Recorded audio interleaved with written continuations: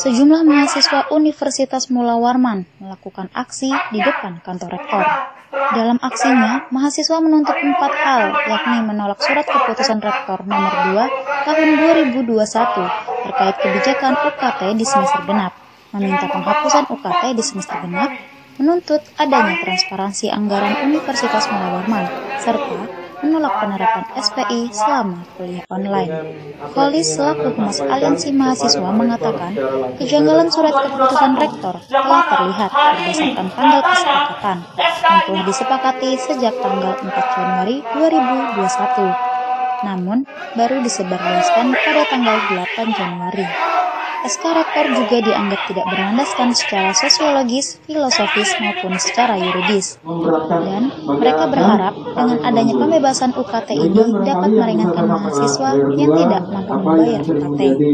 Rektor tersebut mendiskriminasi mahasiswa, terlihat dari salah satu poin yang hanya memberikan potongan 50% kepada mahasiswa. semester 10 atau mahasiswa yang memiliki beban SKS kurang atau sama dengan 6. Hal tersebut tidak sesuai dengan bukti yang ada di lapangan. Pasalnya, masih ada mahasiswa yang memiliki beban SKS kurang dari 6, tapi masih membayar biaya UKT secara penuh tanpa hari uh, dengan adanya SK rektor tersebut tidak berpihak uh, semisal kita berbicara landasan uh, sosiologisnya di tengah pandemi COVID-19 ini perekonomian masyarakat khususnya uh, sedang mengalami penurunan penurunan yang drastis. Bagi kami sendiri melihat persoalan ini banyak mahasiswa-mahasiswa terutama bagi orang tuanya yang memang uh, apa namanya mengalami perekonomian yang drastis tersebut sehingga banyak teman-teman yang merasa kesulitan untuk membayar UKT karena yang kami perjuangkan di sini bahwasanya kami ingin teman-teman kami semua kawan-kawan kami semua uh, tidak putus kuliah karena hanya uh, tidak bisa membayar UKT.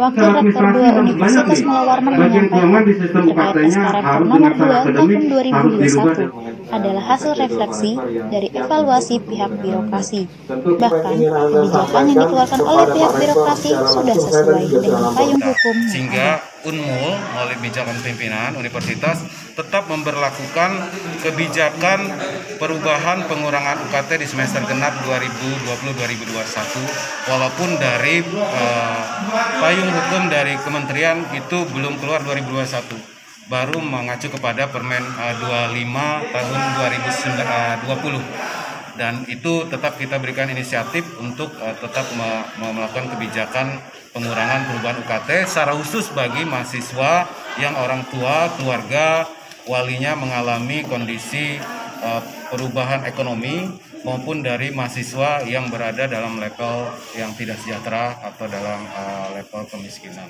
Ardi Wirya, Adi Saputra, Kompas TV Samarinda, Kalimantan Timur.